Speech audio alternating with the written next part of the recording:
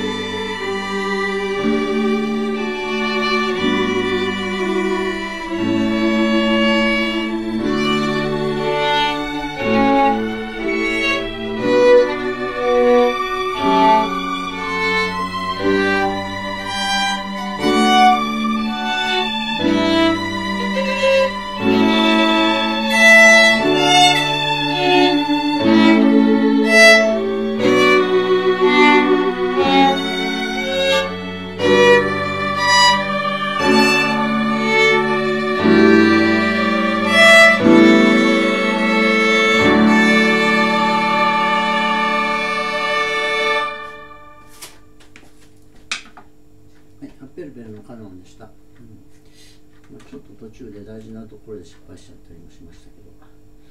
うんまあまあ最近では普通かな。ベストとは全然言えないですけども。まあ昔よりはだいぶいい感じで弾けるようにはなってると思いますが。まあゆっくり上達していくんですかね。